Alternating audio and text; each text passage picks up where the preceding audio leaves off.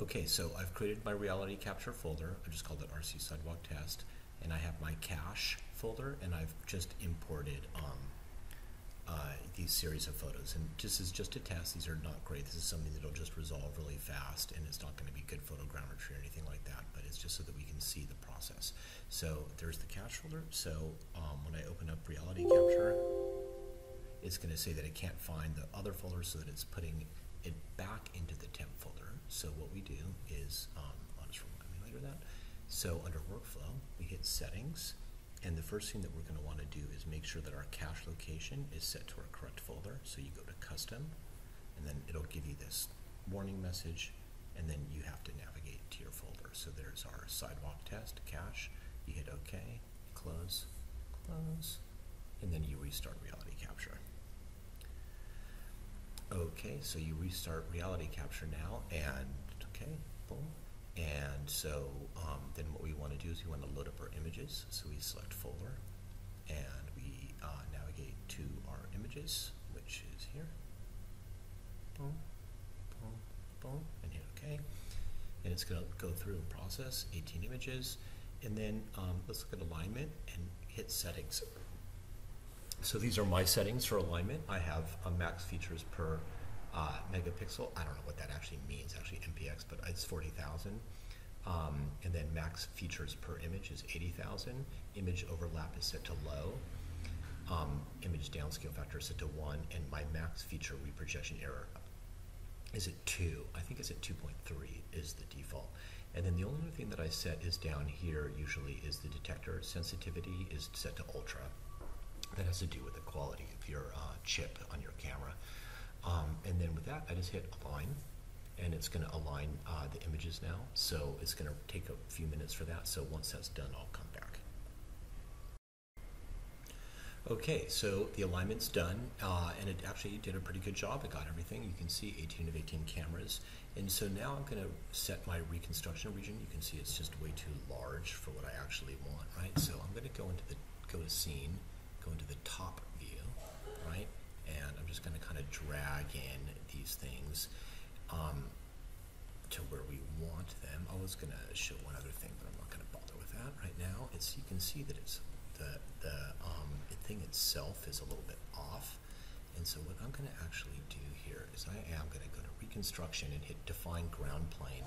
And that's just going to allow me to rotate this however I want. So I want to get that line straight actually. And then I'm going to come to the front view and just make sure that it's, so the front view looks actually pretty good, but let's go to the side view. Yeah, side view. So I'm going to flatten that out a little tiny bit. That's all I'm going to really do. And then I'm going to come here and go set region automatically under construction region.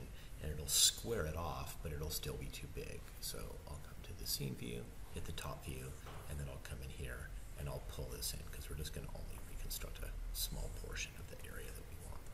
So I'm going to come here like that. And that, we're just going to get this one little area. In here come to perspective view and just make sure that we have the whole thing. That looks good. And I could hit reset view so that it kind of zooms into it.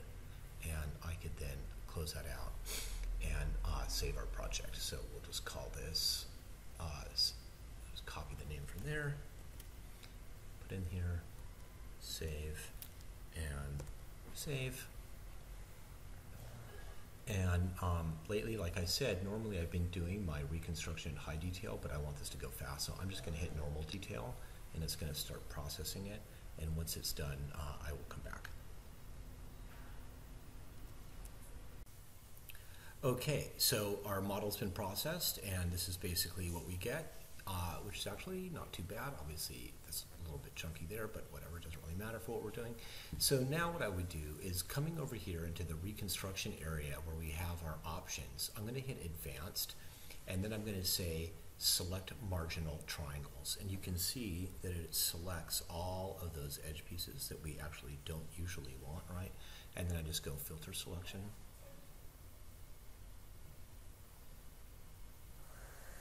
right? Now that's done, right? Sometimes it leaves those ugly edges, right? Like you can see. So I'll just kind of click on this box and then I can like push it in push it in a little tiny bit, push it in, even though I could just clean that up in Houdini too. And then I would come to scene, and under clipping box, I say create from reconstruction region. And then now it just kind of cleans up those edges, right? So now we basically have some basic decent geo that looks pretty good.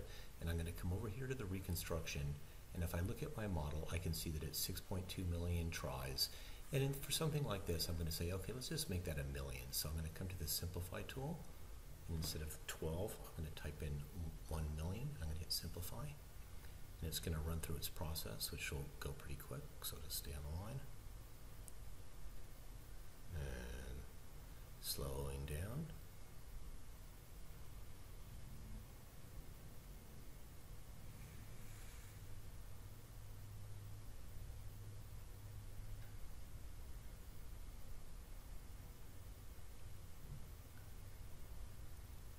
Okay, so that's done. So now we've got our model now that's um, a million uh, polygons. Doesn't even actually look that different. And uh, one thing that we can do is then I would hit colorize.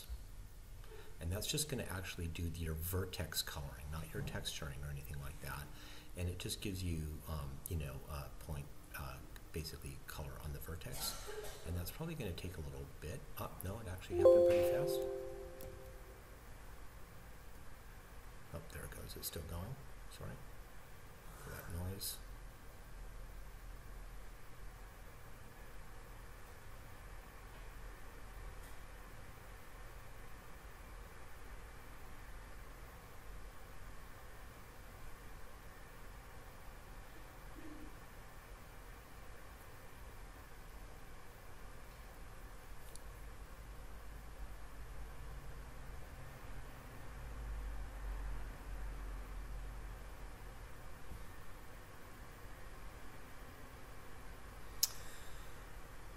Right, so that took about two minutes or something like that, but the coloring is done, so we can see basically what it's going to look like with the vertex coloring.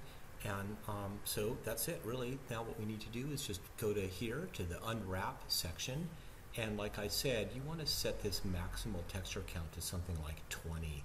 And I set my maximal texture resolution to 8192 by 8192, and then I hit unwrap. And the, the unwrapping portion of it will go pretty quick right? So um, you just do that and you'll see it's creating your UVs and when it comes back you can see kind of, whoops, the density of your UVs, right? So if you were to zoom in there really tight, I don't, this is probably, it's, the interface on reality capture is really awful, how you have to move around. So you can see it's pretty dense, so we've got some good UVs. So we don't need UVs anymore, we don't need the simplify tool, we don't need any more selection on the scene. I'm just gonna reset the view. And the last thing that we would do is just coming over here under the reconstruction, you hit texture and it's going to run through texturing. And this is going to take a little while, so I'm going to stop and when it's done, I'll come back. But really, actually, this is pretty much it. So um, once this is done, we just have to export the model and, uh, and we'll look at those settings because you have to make sure that you export it with the correct settings with the that UDIM property that I was talking to you about. So let me just cancel this and, uh, the, and I'll see you when the thing is done. Okay, so our model's been processed and this is basically what we get, uh, which is actually not too bad. Obviously, it's a little bit chunky there, but whatever, it doesn't really matter for what we're doing. So now what I would do is coming over here into the reconstruction area where we have our options, I'm gonna hit advanced and then I'm gonna say select marginal triangles. And you can see that it selects all of those edge pieces that we actually don't usually want, right? And then I just go filter selection.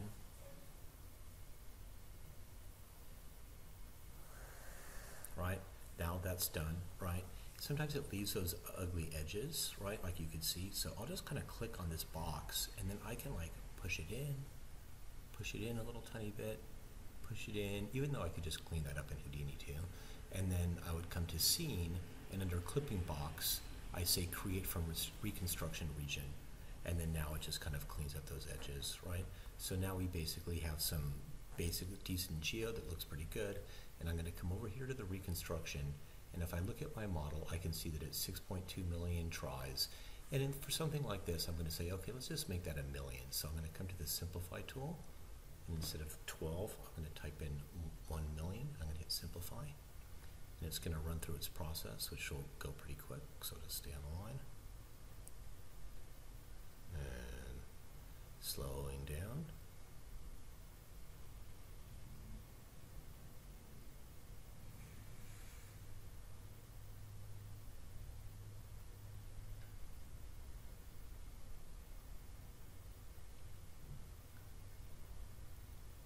Okay, so that's done.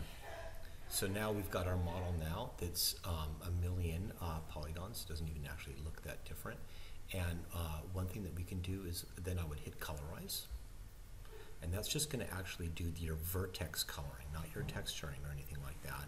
And it just gives you, um, you know, uh, point, uh, basically color on the vertex. And that's probably going to take a little bit. Oh, no, it actually happened pretty fast. Oh, there it goes. It's still going. Sorry for that noise.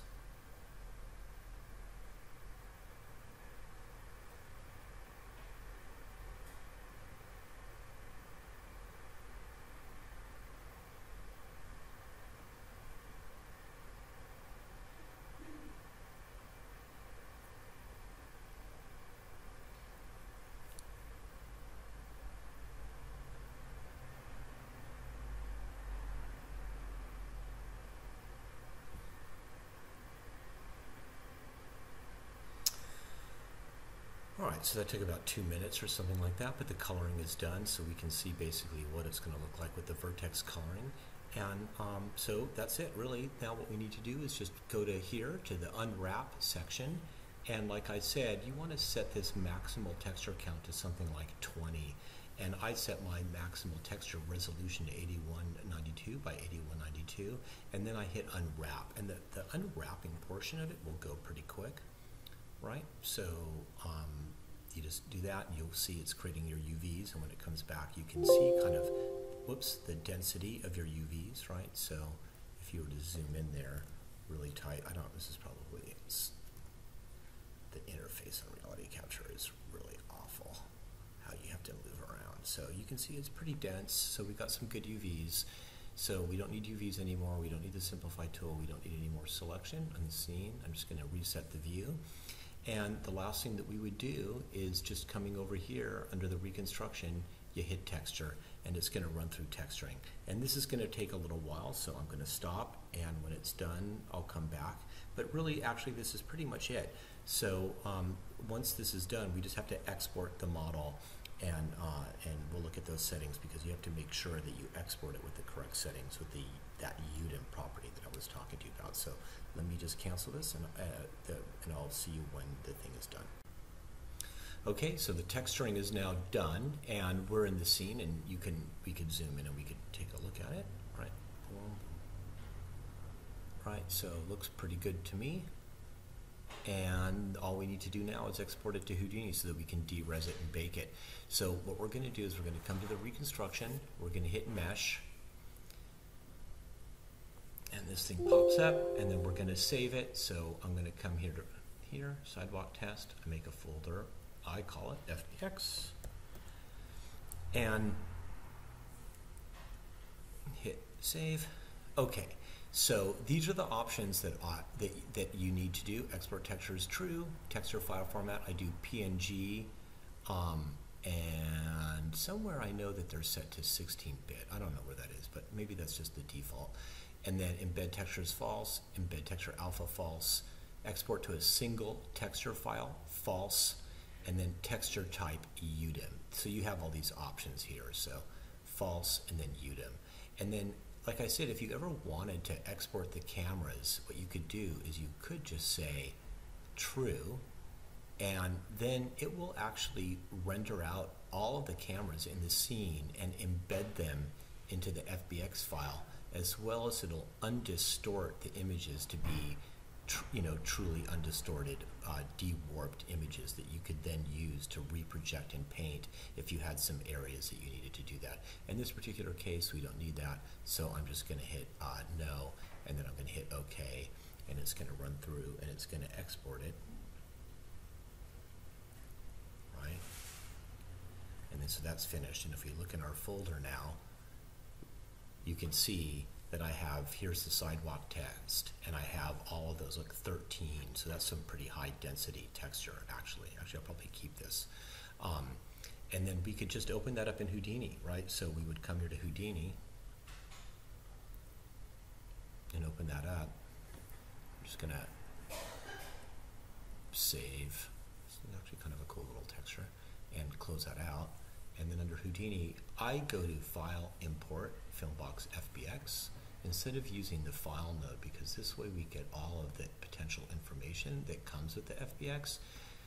In this particular, you know, in this particular case, I'm not not that that's going to matter so much. But so here, come here, hit accept. Ah, maybe import this new scene. There we go. Yeah. Uh huh. And there it is in Houdini, right? And uh, I always turn off here uh, specularity so that uh, we don't have to look at that and th- it, look at it shiny. And now um,